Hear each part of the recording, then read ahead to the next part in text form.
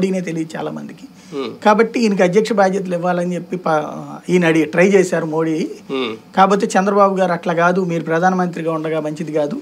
నేను రేపు పొద్దున పిఎం అయిన తర్వాతన అవును, నేను అంతకుముందు పిఎం ఆ కోణంలోనే అనుకున్నాను. కాకపోతే మీరు ఉన్నారు కదా అని వదిలేశాను. ఇంకోటి నా రాష్ట్రం నాకు ముఖ్యం. నాకు రాష్ట్రానికి ముఖ్యమంత్రిగా చేయడం అంటే ఇష్టంగా తప్పించి ప్రధానమంత్రిగా చేయడం ఇష్టం లేదు. ఈ దేశాలదే ఉందండి ఆఫ్టర్ ఆల్ వాళ్ళంతా. అసలు నాకు ఆంధ్రప్రదేశ్ ఆల్రెడీ ఫ్రాన్స్కి కొంచెం ఎక్కువ ఉమ్, బ్రిటన్కి కొద్దిగా తక్కువకి తీసుకొచ్చాను. ఆంధ్ర అభివృద్ధి అసలు ప్రపంచంలో ఎక్కడ ఉంది?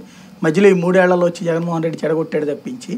లేకపోతే అసలు ఈ పాటికే మనం భారతదేశానికి ఆంధ్రాకి పోటీ వచ్చి ఉండేది అని చెప్తారనమాట అంటే ఒక పది నిమిషాలు బయట అయితే ఇప్పుడు మీరు అన్నదాన్ని రాసేస్తారేమో మేబీ ఆ టైం లేదు. అయితే ఫైనల్గా ఆంధ్రప్రదేశ్ రాజకీయాల మీద ఇంకా భారతీయ జనతా పార్టీ పూర్తి స్థాయి దృష్టి పెట్టలేదా? టీడీపీ ఆ స్థాయిలో వెంపర్లాడుతున్నా ఏదో రకంగా కలుద్దామని అనుకుంటున్నా దూరం పెట్టడం. పూర్తి స్థాయిలో దృష్టి పెట్టలేదని అనుకోవాలా పూర్తి స్థాయిలో దృష్టి పెట్టబట్టినే దూరం పెడుతున్నారు అంతేనా. దృష్టి పెట్టకపోతే సచినోడి పెళ్ళికి వచ్చిందే కట్టమని నాలుగు సీట్లు తీసుకుని సర్దుకుంటారు. అంతేగాని దగ్గరికి రానియట్లేదంటే ఏంటి? ఎట్టి పరిస్థితుల్లో తాము బలపడాలనుకుంటున్నారు తాము బలపడాలి అనుకున్నప్పుడు ఒక స్పేస్ క్రియేట్ చేసుకోవాలి. ఆ స్పేస్ తెలుగుదేశం అవుతుంది. తెలుగుదేశం బలంగా ఉన్నంతసేపు ఇదాడు బలపడుద్ది. ఒకవేళ పొత్తు పెట్టుకున్న వాళ్ళు బలపడి వీళ్ళు మునిగిపోతారు కానీ.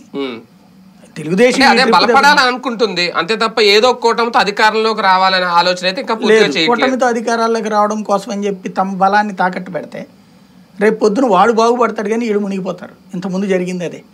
రెండు వేల పద్దెనిమిది తర్వాత కనుక ఆ రోజున తెలుగుదేశం పార్టీతో పొత్తు పెట్టుకోకుండా ఉంటే. ఇవాళ తెలుగుదేశం ఎక్కడ ఉండేది అనేది ఎత్తుక్కోవాలి లేదా కాంగ్రెస్ ఆ రోజునే దెబ్బతినేసి ఉండేది. కాన్సెప్ట్ అవును.